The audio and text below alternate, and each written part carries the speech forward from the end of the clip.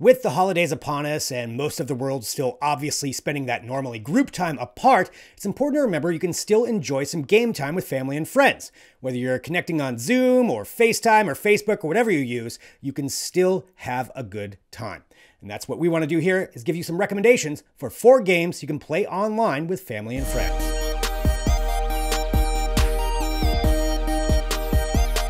Number one, board games. There are a few ways to play board games online, but let's highlight a classic, Monopoly. Monopoly is available as a mobile game on all platforms, and you can play with up to four people at the same time. You will all need to download it first for a price of about $4, but then you'll have it forever.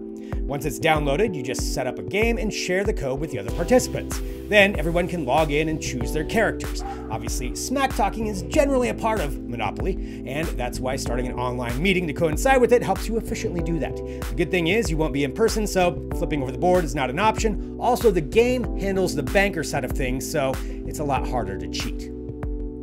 Another option for a classic board game is Settlers of Catan. You can play in real time, taking turns, or you can even do something called Catan Anytime, where you take turns as you have time to play. You do so with a browser based app that works on virtually any device. This could be maddening if your roads keep getting blocked, but just another example of a way to play online. There are also tons of other board games available, so be sure to check your mobile app store for the ones you want.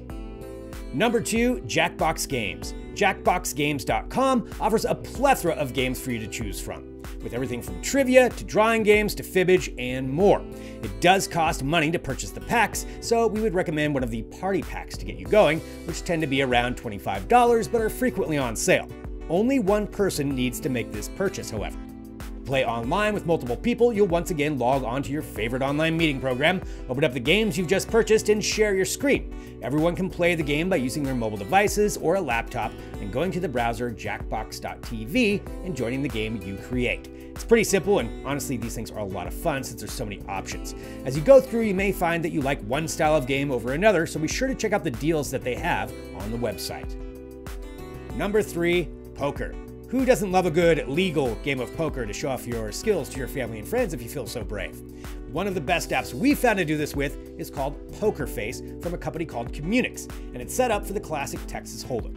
Again, everyone will need to download the app onto their mobile devices, but it's free to start with. Once everyone has downloaded it and set it up, you can start a game to have everyone join. The app itself allows for video and audio feeds within it, so you can actually see everyone during the game, and that way you can better notice if your buddy has a really bad tell when they have a good hand. For the pay side of it, you do get a number of free chips to start with, and then you can buy more through in app purchases. Quick tip if you're one of the first ones to set it up, be sure that you invite your friends to the Poker Face app from within it. That way, you get a few bonus chips. It's just a good way to get started, and it pays to be an early adopter. Number four, the extremely popular and always fun Among Us.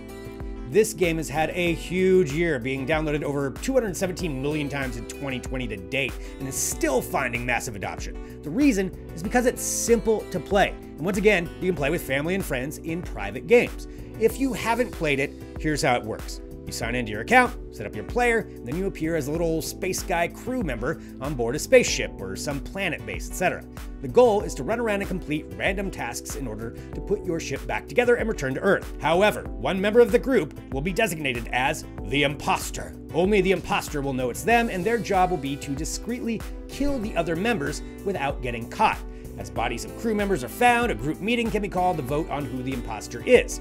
The imposter, of course, will try to convince crew members that it's someone else, and the entire group can call spontaneous votes to kick someone out of the ship. The game ends with either all tasks having been completed, the imposter getting caught, or by the imposter dispatching all of the crew members. Games are usually quick, and you can have a lot of fun if you're all on a Zoom call relaying information to each other.